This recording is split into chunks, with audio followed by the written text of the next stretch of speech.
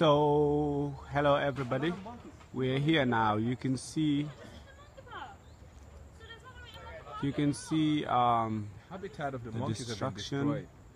Everything is just so broken, and all in the name of development, whatever the terms mean, the term means right now, for the destruction of the ecosystem of the Gambia. Um, it's amazing what human beings can do, man. You This know, is a shame, man. this is this is more than a shame. I mean, just because of some pitiful gains. Look at this. They have cleared an entire field just for a hotel. Trees that were here for mm-hmm. thousands of years Yeah. and now decimated. And I have my brother nothing. here. Can you say something? Well, unfortunately, as I'm dressed, I'm not supposed to be here. I'm coming from a function at Coco Ocean, but I just can't stop but to just come and see the destruction and mayhem done here on our name. This park's been here since 1952 and it has served a purpose. It's been an ecosystem, a sanctuary, and a safe haven for rare species of birds, trees, and monkeys that Gambia has lost over the years. And what we have heard is that the authorities or former authorities of the Ministry of Tourism gave someone a piece of land to do a development project here. This place is a place that's legally protected and no one should do development here. But n- to make matters worse, the people who have given the mandate for people to come here and do a project don't have the mandate because this is outside of the scope of the GTB, that's the tourism board, because hi- this is a park. Yes. It's under wildlife. It is protected, and there is no development that can come here.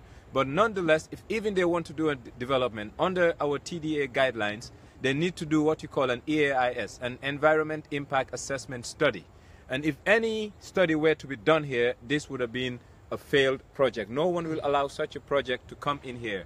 So what we have seen here, to, to, as far as I'm concerned, is an utter um, disregard for you know our biodiversity. It's an utter disregard to our ecosystem, and it's an utter disregard to Gambians. And this is why we need a Freedom of Information Act, whereby Gambians know what people are doing in their name. Because surely this is not done under my name or the name of any Gambian who is meaningful in terms of developing this country or seeing the biodiversity of this country being preserved.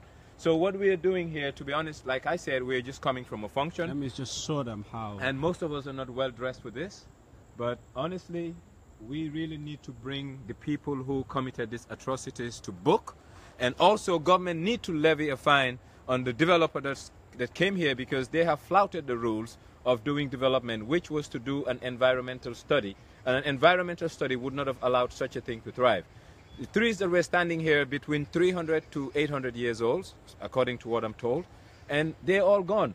The monkeys that used to live on the trees are nowhere to be seen because their habitat has been destroyed and decimated by hungry wolves who care less about Gambia but profitability in a country that is vulnerable. The vulnerability of Gambia right now shouldn't be taken to, um, to the market. Gambia is not up for sale. Gambia is open for business but not up for sale. So, Immortal, I'm very pissed and I'm not happy with what I see. And to be honest, I mean, look at this. This place used to be dark with a forest cover, Yeah, just like a ceiling. definitely. There's nothing out here right now. And this is not only atrocious, but a shameful act done on our name. And to me, this is not done under my name. And I'm pissed. Definitely. I mean, this is eh, we we have seen um, a lot of monkeys now going inside the towns because they have no habitat where they could stay whatsoever. I mean, you know, it's an it's a it's an old myth somehow in our country that xam nga sooy gor um, trees rek. That's a sign of development. That we we don't um, we don't have anything in place to protect our ecosystem, to be able to protect um, what we have, which is most valuable. Somebody just called me earlier on, and she was very troubled. And she's a very um, prominent person in the hotel industry. And she was like, people don't really come to Gambia for the amazing beaches if you think they come here for that, because there's so many amazing beaches around the world. They come here for the, our biodiversity and for a whole lot of things that doesn't have to do with hotels. There's a lot of hotels in Gambia. There's a, the sea, the coastline is sufficient to build um, a hotel.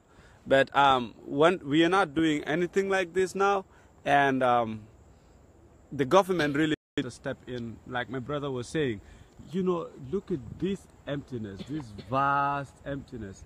You know, where monkeys have lived for thousands of years, probably, and and we're not doing anything about it. And our government is silent because somehow, you know, you, you get given a small token by corporations or hotel industries, you know, and destroy this thing that where we have coexisted with, with, with this ecosystem for a long time. Well, mm. Gambians are looking for a win-win situation whereby we will have tourism, but sustainable tourism. Mm-hmm. Tourism whereby we will preserve the sanctity of our biodiversity and our ecosystem and yet still sell it as part of our cultural heritage. Mm-hmm. Because what we have here could have been a